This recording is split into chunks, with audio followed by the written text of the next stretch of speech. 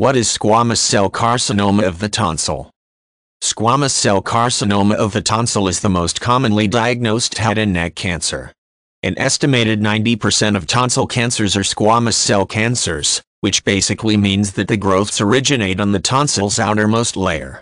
Anyone at any age can develop this condition, but males over 40 who drink heavily and use tobacco products tend to be most at risk.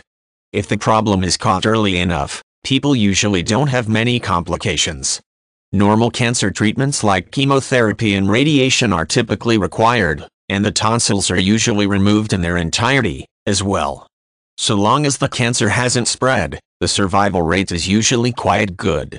Like most cancers, though, squamous cell carcinoma of the tonsil can spread to other skin and organ tissues, and in some cases is fatal.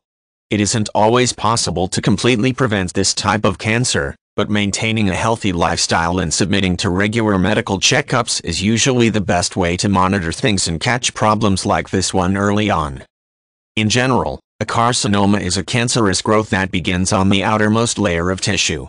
This type of growth can occur almost anywhere, on the skin, on an organ, or even on an individual cell.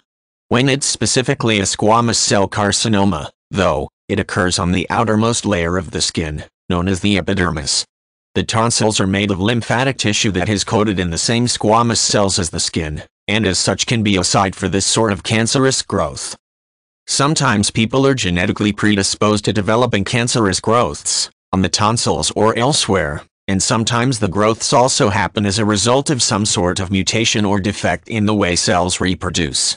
This is usually the explanation given when children develop this condition, for instance, or when it strikes despite every precaution.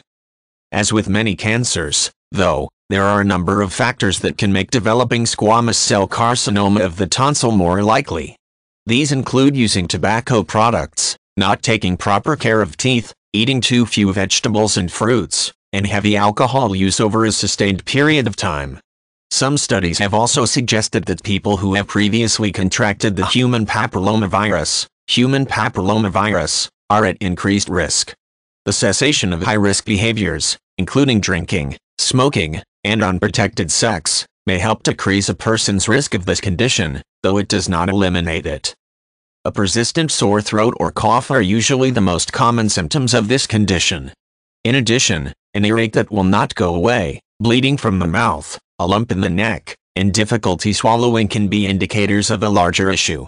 Of course, all of these symptoms are also associated with a range of other, usually less serious medical issues. Only an evaluation by a medical professional can rule out cancer, however, and as such, anyone who is concerned about pains or aches, particularly those that don't seem to go away on their own, is usually wise to get a thorough medical workup. A diagnosis of squamous cell carcinoma of the tonsil usually requires an examination with a laryngoscope and a biopsy of the tissue. Computerized tomography, CT, scans, magnetic resonance images, magnetic resonance imagings, and X-rays can also be helpful tools in the diagnostic process. Not all growths are cancerous, but those that are typically carry the name malignant when a malignancy is confirmed. The next step is staging. This step identifies how far the cancer has advanced and whether it is contained in the throat or has also spread to other organs. Staging determines treatment options. Prognosis typically depends on several factors, the patient's overall health and ability to withstand treatment are important elements, as is the stage of the cancer when discovered and the location and size of the growth. Cancers caught early tend to have a high cure rate, whereas advanced cancers provide the biggest challenge for treatment success.